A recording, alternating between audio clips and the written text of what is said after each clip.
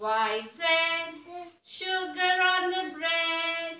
If you don't like it, go to bed. Next Monday morning, come to me.